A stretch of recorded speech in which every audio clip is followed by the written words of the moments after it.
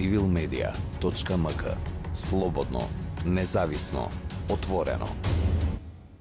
Би сакале малку да позборуваме за социјалната правда, тоа е една од темите кои што се важни за цивил и за цивил медија, како до намалување на сиромаштијата. Јазот помеѓу богатите и сиромашните не се намалува, како до одржлив и еднаков развој за сите. Ова се и социјалдемократски политики, дел од вашата програма. Колку успевате да ги остварите? Дали се разликувате од вашата политичка конкуренција или имаат право тие што велат дека сите сте исти?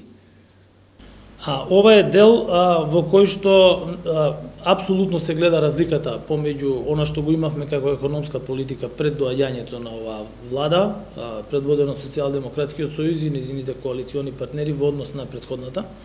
А, прво, минималната плата со закон беше зголемена а, и таа во 2017 година изнесуваше 9000 денари, денес минималната плата изнесува 15200 денари. А, ВМРО опозицијата а, практично го напаѓа тој концепт на зголемување на минималната плата со аргументи дека на тој начин ќе се изгубеле работните места. Ја лично како економист апсолутно не верувам во а, во концепт дека доколку се зголеми минималната плата, а дека ќе дојде до губење на работните места, бидејќи за тоа треба други дисторзии на пазарот и тоа нормално не се случи. А, значи имаме поголема минимална плата при зголемен број на вработени и намален број на невработени. Второ, просечната плата во 2017 година изнесуваше 23.850 денари, таа сега изнесува 28.550 денари, што значи дека и тука имаме зголемување од речиси 6.000 денари во однос на таа просечна плата која што беше пред 4 години. Исто така има зголемување на платите во здравството, во образованието, во безбедносниот сектор, а исто така се зголемени и социјалната помош за три пати, како и социјалните социјалната заштита и социјалните додатоци. Да не заборавиме дека беа воведени и дека беше дека беа зголемени и стипендиите за средношколците за дупло, за дупло во однос на оригиналниот износ, тие сега се 3600 денари.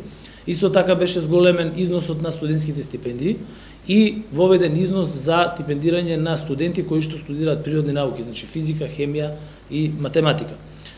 И последната мерка која што пред избори беше воведена, која што практично стоеше во ветувањата на владата и незините коалициони партнери, а тоа е воведување на студентски оброк за сите студенти на сите приватни, на сите државни и сите приватни универзитети во државата.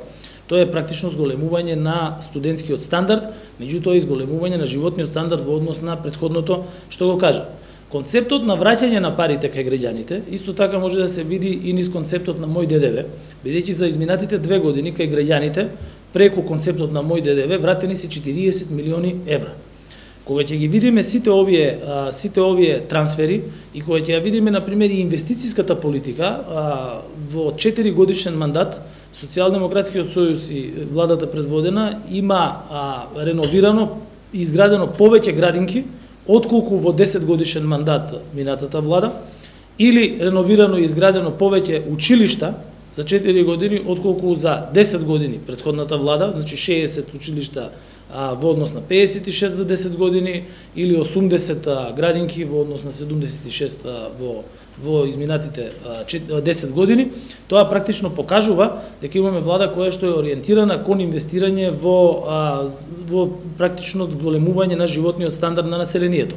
Еден од показателите кој што исто така зборува за а, за нивото на животниот стандард е и а, потрошувачката кошница и односот со минималната плата. Тука ве нападна дека цените, да, вие сте покачиле минимална плата, просечната плата, нели, некои сектори зимаат повеќе, па статистиката како вели, некој јаде зелка, некој јаде месо, но просечно се јаде сарма. Колку колку успева да да да ги овие сите мерки пакети што ги рековте се нели општо познати за јавноста, колку успеваат да го ублажат ценовниот шок, кој што е последица нели и на пандемијата, но и на некои други фактори. Значи прво, а, тоа се две одвоени прашања, ја ќе ви одговорам и на двете. А, првото прашање во однос на а, покривањето на потрошувачката кошница со минимална плата, бидејќи тука гледаме како каков е стандардот на најниско платените во едно општество и најранливите, значи во јуни 2013 година беа потребни 4,05 минимални плати за покривање на една потрошувачка кошничка. Во јуни 2017 година биле потребни 3,22 минимални плати за покривање на една потрошувачка кошничка, а во јуни 2021 оваа година потребни се 2,25 минимални плати за покривање на една потрошувачка кошничка во едно семејство. И од ова јасно се гледа како е подобрен животниот стандард на граѓаните на Република Северна Македонија. Кога зборуваме за инфлацијата, после секоја голема криза, ваква, од вакви размери, постојат инфлаторни притисоци. А, го издржиме ли тој А, апсолутно, значи Македонија 30 Северна Македонија веќе 30 години нели ја има таа политика на потиснување на инфлацијата, стабилен курс на денарот. А владата со сите своји мерки кои што ги применува а, се грижи практично за фискалната политика, додека монетарната политика е во ингеренции на Народната банка. А оваа криза, за разлика од предходната криза 2008, светската финансиска криза, ние имавме многу подобра координација на монетарната со фискалната политика и тоа е потврдено и од Министерството за финансии и од Народната банка во јавни настапи. Народната банка имаше исклучително ефикасна и ефективна монетарна политика.